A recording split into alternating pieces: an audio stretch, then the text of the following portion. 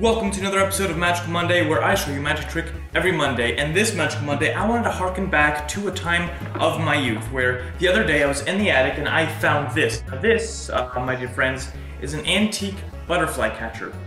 No, I'm just kidding. It's uh, what's called a magic changing bag. It's a very old magic trick I got when I was eight at a garage sale, or my mom got it for me, but uh, it's, it's pretty cool. See here, it's just a bag, and for some reason there's a zipper the back end, I guess that's just to show you that the bag is empty or something like that. Alright, but I want to do something a little magical with our magic changing bag, right? So you see the bag.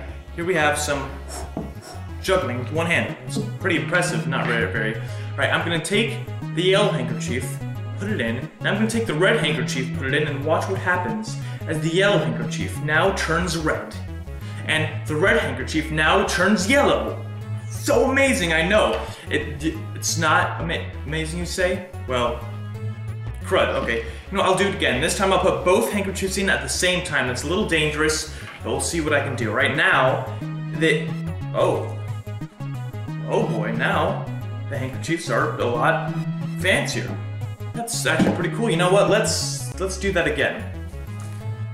Alright, but this time I'm gonna do something even more extraordinary. Watch up.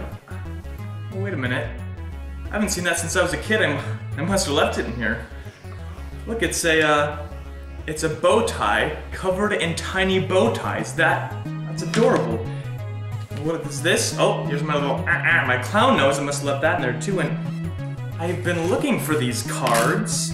And ooh, is this a love note from my childhood? No, it's just, just my math homework. You know what, guys, I am not very in the mood for Magic Trick today. I'm kind of parched, so you know what, you guys have a magical Monday. No matter what day of the week it is. Boom! I will never do that again. I'm so sorry about the last thing. Anyway, thank you so much for watching this episode of Magical Monday. Click right here to watch our last episode and click on my face to subscribe for more Magical Mondays.